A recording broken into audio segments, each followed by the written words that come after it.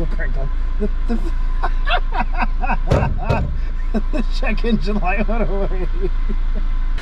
oh, this is a general reaction. This just happened. I... Well, hello everybody. I don't know if you know who I am, but uh, I collect Hondas and I used to have a long beard and sometimes I go to uh, races that are in the woods. But hey, I missed you guys. Uh, man, life has been rough to me if you can't tell by the shagginess and the grossness of myself. But uh, man, we've we've been off for a little bit trying to get some stuff done in life and trying to get kind of settled. But uh, that's for another video. Right now, you guys already know I did some spoilers on Instagram, did some spoilers on Facebook. So if you've been following any of that, you already know what I'm looking at here. And plus, I'm sure the thumbnail has some kind of, oh, guess what kind of car I got? You guys know what kind of car I got. I got a wagon, another one. This beautiful, beautiful gem I found. Whew, man, I was so lucky to get this thing. I, I, so the story so I found this one. It was on Facebook on a random group called like Men's Trades Shop or something like that. Uh, just a random Arkansas for sale group. But anyway, I, it wasn't listed. I'll, I'll, post a picture here from my phone, the screenshot of the listing. And as you can see, it says Civic Wagon up front, but there's no, of course, picture of it because that would have probably triggered somebody immediately. This thing was posted for six minutes. Complete whim that I joined this group. I just joined the group. I saw 88 Civic wagon and a bunch of other stuff for sale. And I, I, I messaged me like, oh God, oh God, I gotta go. I started hyperventilating. And I was actually on the way to Oregon Trail Rally in the back of the uh, Rally Ready truck. So I was unable to get it. I just I physically could not be there to get it. So my good, good friend, Mike King, uh, was able to go pick it up for me and hang on to it while I was away. And eventually I was able to go secure it, which today I went and finally secured it. It's been in his shop, hanging out, hidden behind some stuff. But this this thing's a cream puff. I'm really, really excited about this. So this is a 1988 Honda Civic wagon. But if you guys are watching this, you guys know what it is. If you know the story, uh, wagon guys will know, Honda guys will know. These things are being parted out at an alarming rate and they're just not around anymore because people pull all the all-wheel drive stuff off of them and then they promptly scrap as you well you can kind of see there's the drive shaft or the axles. Rear diff maybe I'll see it. If not just believe me it's all there. The guy he didn't know what it was. He just was going to turn it into a side-by-side. -side. he's literally going to just chop it all up and make it a big side-by-side. -side. kind of lost interest in it and uh, put it up for sale. And it was sitting under a shed as you saw in the picture. The only problem he said was I don't know, it, it has some kind of not, no start issue, but everything's there. But as you see the interior, yeah. So he let a dog loose. Oh, why don't I say dog loose? For some reason, he decided to keep a dog inside here, locked up. I don't know if it's a punishment or he's just a bad person, but uh, yeah, the dog took it out on the wagon. So the seats are ruined, front and back. Uh, headliners tore up. The dash and all the, this is good, so that makes me happy the dog didn't decide to go after the knob. That's a really clean shift knob, by the way. So yeah, no, it's all tore out. Uh, the other problem is that glass over there is broke out. Not a huge deal, not a deal breaker, obviously. It is probably going to be pretty hard to find because, you know, they're not exactly super common in junkyards and everywhere else. I can find that though. Uh, let's open it up. So you can see the key cylinder is gone. I guess, I imagine they misplaced the key because I have a title for it. It's a clean title. So that's really nice. But they drilled out the, the key cylinder, which if any Honda thieves are watching, they know you can just start it with a screwdriver now, which is kind of dumb. But this is a factory AC car. it's got AC, it's got power steering, and the craziest thing of all, and I these caps are still here. So this still leads me to believe this has not ever been rolled back. But can you see that number? 109,000 miles. And that's it. this is my new low mileage Civic wagon. And I, I, I can't believe that. I cannot believe this thing only has 109,000. I mean, I can. Uh, the tags were valid through 2013. So they're really, I mean, it came off the road what, eight years ago at this point Man, that is super low miles. And this is super low gear. But yeah, no, the interior has never been apart. Like all the screws are all there. Uh, most of the normal stuff that gets yanked off and thrown out is all there. All the panels are here. We'll change things here. It was just driven. It was just just driven. That was all. It was never modified. No one ever had this as a tuner and tried to put like gauges on there, low short sport shifter. Not not calling anybody out, but it's never it's never been modified. This is just a good old Civic wagon that someone had, and they just took care of it just drove it. And they didn't drive it much. Let's see if I can get the hood unlatched. It's gonna take a second. If you pull, you can get a hold of this cable here and pull that good knife good enough. You can actually undo the hood. Tech tip for you. And here you go. This is the D16 A6, all the original motor. Has the uh, factory skid plate on the uh, transmission still there. It leads me to believe none of this has ever been taken apart. It looks like they tried to take some of this apart in order to get it started. Like I said, I think it has a no start condition. Uh, I don't know what they were doing here. There's like house connectors and I think they're trying to jump start is what they're trying to do. The resistor pack, is that unplugged? I have the resistor pack unplugged here. I don't know what in the world they're planning on doing here. Oh no, they got a different resistor pack just here. I don't know. Anyway, they were trying some some engineering. They put a brand new uh, distributor in here. Why I don't know. Usually these reman distributors are junk, so I'll keep my eyes out on that.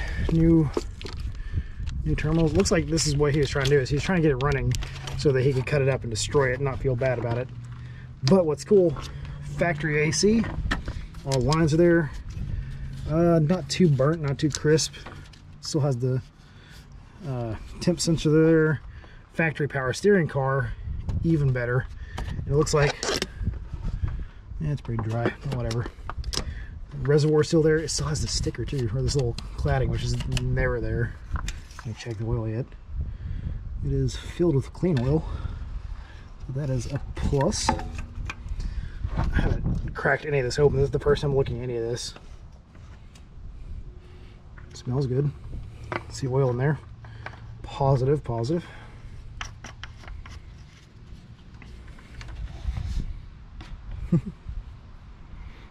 no slushy.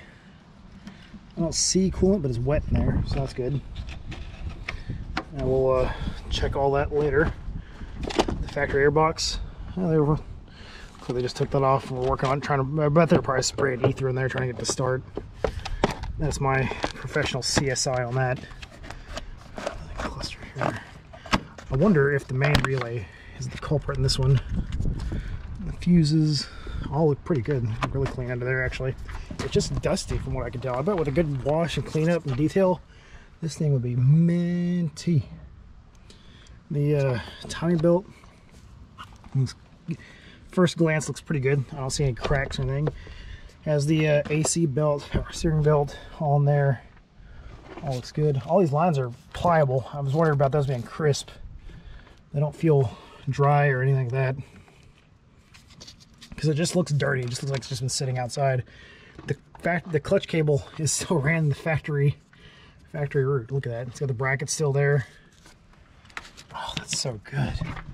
Oh, the more I dig into this, more excited I am. The headlight buckets, this one looks a little loose. Usually that means, yeah, that, that set screw fell out of the back of that, no problem. Yeah, that one's got the set screw in there to hold it good tight. Lights are uncracked, real glass.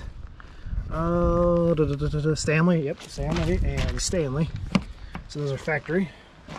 Of course, the corners are broke.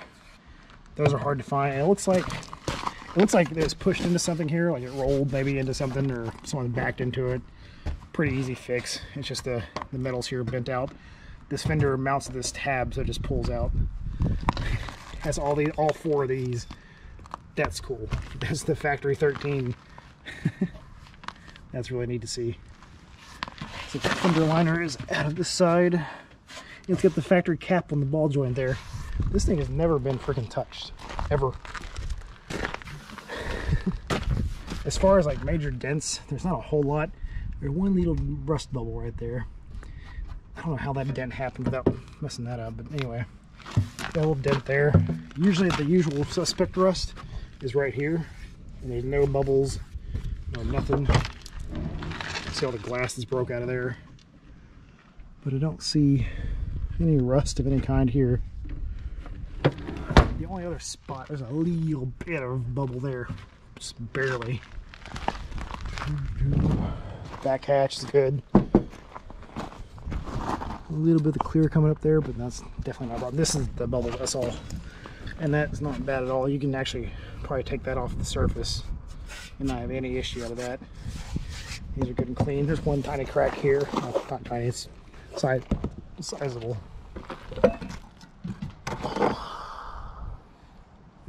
Gas smells old. I don't see any markings of having a roof rack at any time, but it's not dented. No dents along the side. And this is pretty amazing. You never see a driver side fender that's not completely caved in. There's a few small dents, but overall that's a like an 8 out of 10 fender. Looks like the clear maybe bubbled. Just been sun baked or something. Anyway, I'm gonna start diving into this thing, kind of a look around, see what we can get uh, figured out here. Maybe try to get it started. Whew. Man, I have been doing a deep dive. As you can see, the sun's already kind of gone down on me. I have been just kind of tearing through this thing, just kind of figuring out what is what and what is not what. So I had to replace one fuse, and I've got power, so that's good. Clock's on now. That's also good. It wasn't on earlier. Uh, I've got the battery charger going on now. As you can see, I've kind of got my key here because I decided to drill that out. Uh, let's go turn this off. Click that back. Key out. There we go. Keys out. I don't really want to show that because I hate the fact that you can do that in a car. But anyway, I was digging through here, just seeing what's all in the back seat. And I've lifted the lid here and some more CSI. Look how nice that carpet is. Wow. That looks fresh. Anyway, enough of that. I was doing some more CSI work. and if you see here, I don't know what they're doing. They had taken the fuel pump power and ground off and ran one long cable. It looked like a power cable. Maybe they're trying to make a, a manual fuel pump on, which that believe leads me to believe my original theory about this car, why it won't start.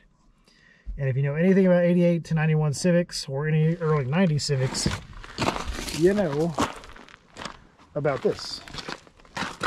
So, this is the main relay. Now this thing, uh, the reason I know they hadn't looked at this because it's dusty and it was still bolted up and all the bolts are still there, which the bolts are hard to put in. So if you have this in there and the bolts are there, it's never been taken out. You're not going to put it back that well. And like I said, most of this car you can tell has not been opened up except for what they're trying to figure out and diagnose. diagnose. So that kind of leads me to believe that they didn't think or they didn't know about this. So these things are uh, notorious for getting hot and just coming apart. And if this car was set out in the sun or just, I think even just generally, they can just get hot and the solders can come apart. I do have a known good one. It's in my other red wagon. It's parked back there. So if I can get this thing to turn over once, just to kind of let me know, hey, everything else is good, then I'll go ahead and put a known good main relay on here and see if I can get the start. Because I, I'll show you what they're going to I have no idea what was going on here. For some reason, they're trying to bypass. Maybe that's the fuel. I do not know. I don't know why they're trying to. So they have an extra uh, resistor pack here. So that's leading me to believe they weren't getting fuel. And that's why they're trying to do that manual fuel pump switch thing. Because this resistor pack's just unplugged. And resistor packs, I've never had a problem out of them. I don't know a lot of people that had problem out of resistor packs. So I don't know why they would go after that, thinking that was the issue. Unless they're trying to manually wire up. Maybe. Maybe that's it. And as you can see, they also put a new distributor on here. And I don't know. It was probably turning over This is like a whole CSI thing. It's probably turning over when they're putting ether in here, but they weren't getting fuel. And they couldn't figure out why they getting fuel, so they put a new fuel pump in here and we're attempting to wire up a look here. Here's the old fuel pump. And what that makes me think is they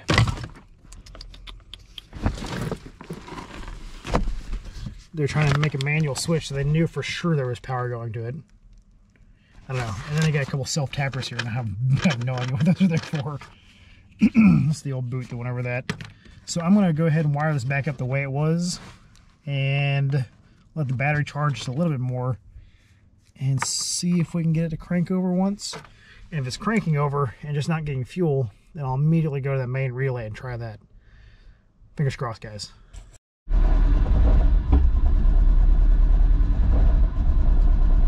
Timing might be off. I got my foot flat to the floor right now.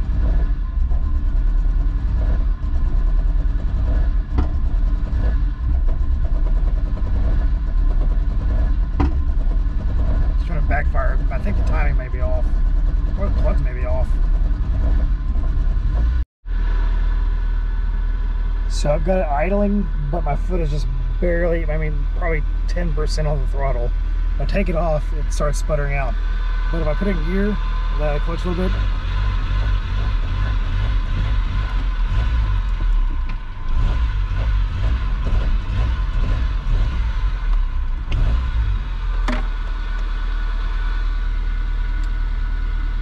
let it get a little bit of temperature into it. I put a little bit of fresh gas in it too. I don't know. I'm, I'm kind of the only thing I've really done is just re-unengineer what they did to the fuel pump and the the uh, resistor box. I don't know what that was about. It sounds really healthy though. So I am going to sit here and let it idle for just a hair longer. Idling about a little over 500.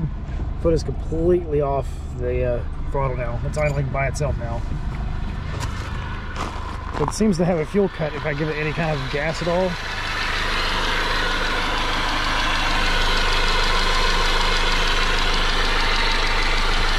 no weird smells, no crazy. Look at, I took this uh, cover off, the tiny little belt looks brand spanking new. This fresh RTV here, like the RTV it. It looks like they redid the uh, valve cover gasket too. But you still, it was leaking at one time. So I guess they went ahead and replaced that. But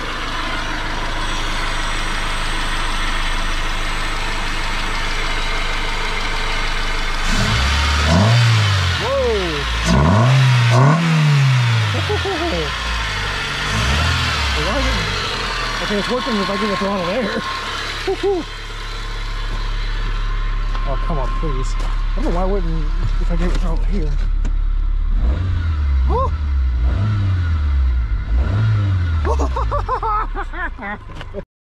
there is no way this is gonna work.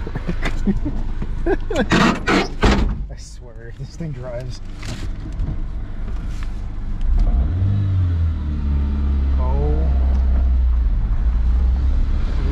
What? it drives so well too. It needs some steer power steering fluid. oh, uh oh. it doesn't think there's a key in there. Oh, that's a bit dangerous. Hang on.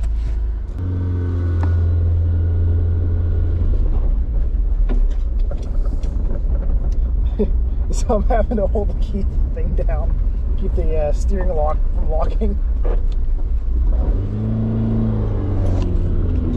Oh my gosh.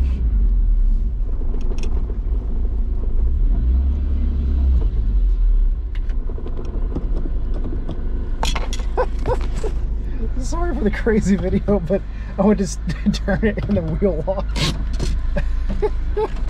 I can't believe it. It's working just fine. oh, this is this is genuine excitement. it's running and driving just fine. I don't know what they were doing with it, but it's perfect. The power of the clutch, everything feels perfect on this stupid thing. oh, this is a general reaction. This just happened. I, I don't know what kind of it, it works. I fix, I fix, I fix. Video's over. Whew. Well, that was an emotional roller coaster really fast. Like I did not expect this at all. I was just kind of expecting today to kind of just go over it, check everything out, make sure, kind of see what I was getting into. But uh, wow, this thing is nice. It's needs a good fucking deep clean for everything. But besides that, man, oh man, almost looks like a new crack.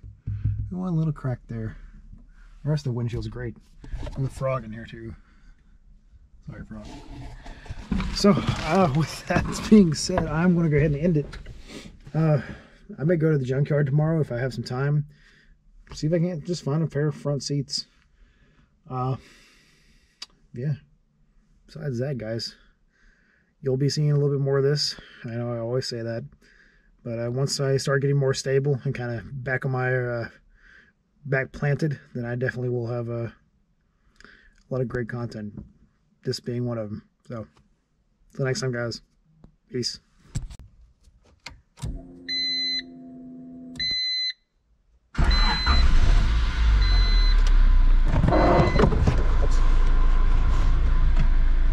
Starter still cranked on. The, the, the check engine light went away. Oh, you can't you can't script that, folks. All right, for real this time.